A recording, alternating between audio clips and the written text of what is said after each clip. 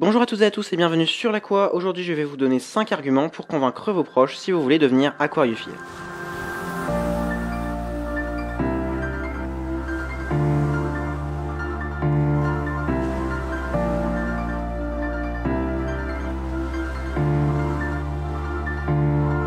Juste avant de prendre en note ces arguments, notez seulement qu'ils n'ont pas pour but de convaincre le ou la future aquariophile. Celui ou celle qui aura à charge le futur aquarium doit avoir une volonté qui lui est propre, ce n'est que comme ça qu'il saura s'auto-garantir de bien s'occuper de ses futurs animaux. Premier argument, vous en avez sans doute déjà fait l'expérience, un aquarium c'est beau. Ça attire l'attention sur une décoration naturelle, un tableau vivant, et que ce soit pour vous ou pour vos invités, c'est toujours très agréable d'avoir un aquarium. Deuxième argument, l'aquariophilie c'est une très belle passion, ça occupe et ça permet d'être occupé à autre chose que des moyens plus technologiques. De plus, c'est une motivation de vie et c'est toujours un immense plaisir de s'occuper ou de présenter son ou ses aquariums lorsqu'on a vraiment la passion. On n'oubliera pas également que ça peut être toujours très émouvant lorsqu'on assiste à une reproduction. Troisième argument, s'éprouver. Regarder un aquarium contribue à diminuer la tension artérielle. En d'autres termes, si vous êtes souvent stressé, s'asseoir quelques minutes et contempler un aquarium vous aidera à gérer votre stress et à vous calmer. Cette passion est aussi très formatrice. Elle apprend la patience, le respect de l'environnement, des animaux et de la nature, le calme et de nombreuses connaissances intellectuelles. L'aquariophilie est un subtil mélange de deux sciences, l'aquariologie, la science de l'eau, et l'ichthyologie, la science des poissons. L'aquariophilie développe donc de nombreuses compétences intellectuelles et si vous êtes élève, vos moyennes en SVT et en physique-chimie risquent de faire un grand bond. Cinquième argument, la peut être malgré son coût important une source de revenus. Une simple annonce sur le bon coin permettant de vendre ses plantes et même pourquoi pas les juvéniles suite à une reproduction peuvent contribuer à vous apporter un revenu que vous gagnerez par simple passion. Enfin, terminons par un petit bonus, lorsqu'on devient aquariophile et qu'on cherche à se renseigner sur les forums ou sur YouTube, on entre au contact d'une superbe communauté d'autres passionnés. L'ambiance qui règne entre passionnés est vraiment très agréable et croyez-moi, on se sent heureux de pouvoir partager sa passion avec d'autres personnes. Cette vidéo touche désormais à sa fin, j'espère réellement qu'elle vous aura plu, si c'est le cas n'hésitez pas à mettre un pouce bleu, à commenter ou à partager la vidéo à d'autres aquariophiles et même pourquoi pas à vous abonner et à aller voir mes autres vidéos en cliquant sur les différentes icônes qui apparaissent sur votre écran. Pour ma part je vous dis donc à très bientôt pour une prochaine vidéo, salut à tous